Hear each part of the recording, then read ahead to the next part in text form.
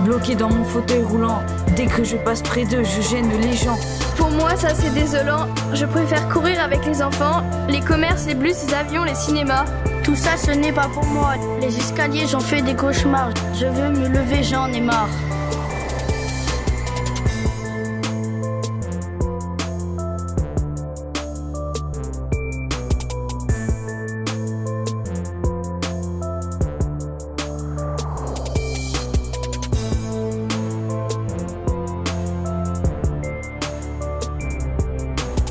Je suis dyslexique, dysprasique, dysgraphique, dyscalculique, dysphasique, dysorthographique.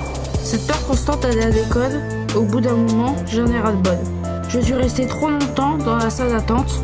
Comparé aux autres, je me sens transparente. Toutes les semaines, voir ce même médecin. Dans ma tête, j'en fais un dessin.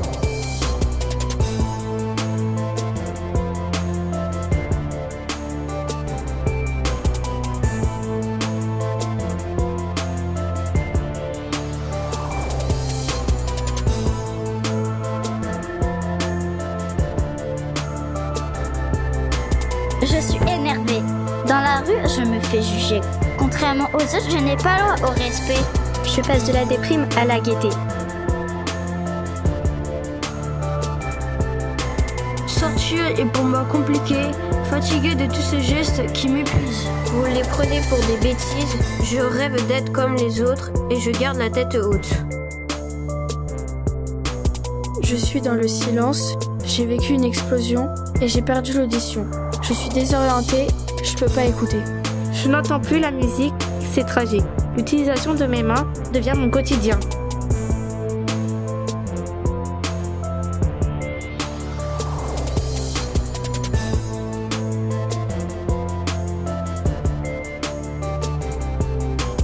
Je suis sensible à la lumière. Dans les magasins, je me sens pas bien. Pour éviter les dangers, je dois écouter. Pour m'habiller, me coiffer. Je ne peux pas me fier à mon reflet. Je suis épuisée. Je me sens nulle quand je suis dans cet état.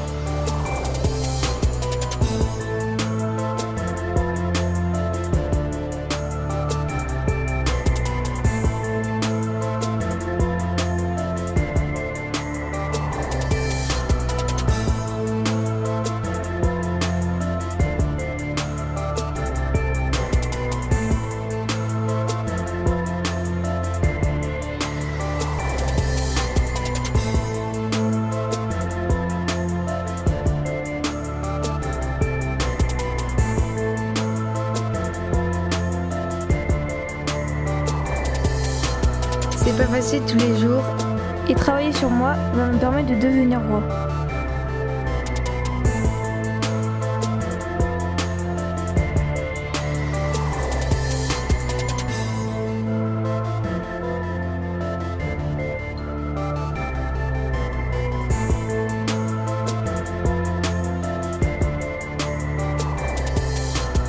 Je suis une fête, un feu d'artifice, une montagne plus haute que les autres, un anniversaire, une larme de joie, le trésor protégé par le dragon. Le bonheur, la colère, l'amour, un rêve. Les difficultés de la vie, le lapin dans le ventre du loup.